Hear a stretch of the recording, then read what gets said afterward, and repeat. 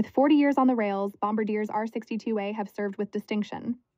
The R62As were a follow up to the R62 order from 1981, marking the second order of stainless steel cars for the A division.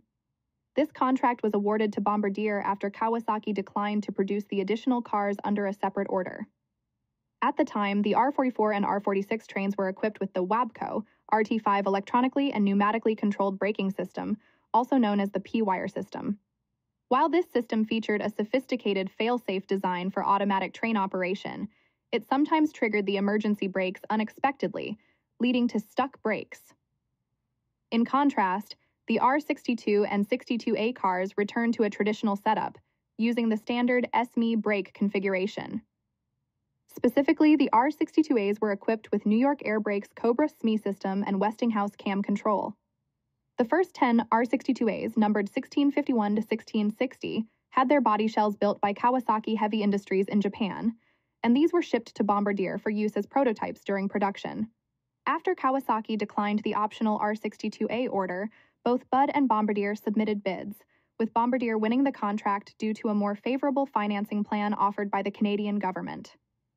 A total of 825 cars were built between 1984 and 1987, with the fleet entering service between 1985 and 1988. The R62A, like its Kawasaki counterparts, utilizes an H2C coupler setup. However, they are not electrically compatible due to differences in their pin configurations. The R62A has 39 pins, while the R62 models feature an additional row totaling 52 pins.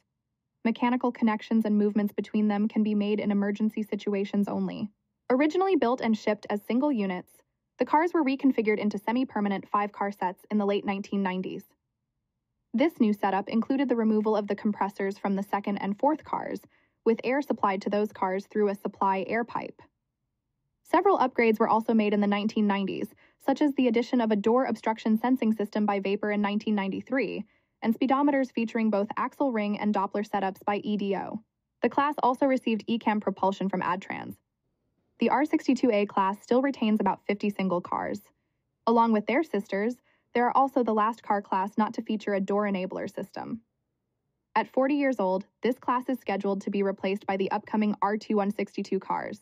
However, as of this summer 2024, no RFP has been publicly issued. The class has earned its spot in the New York City transit system and soon in the halls of history.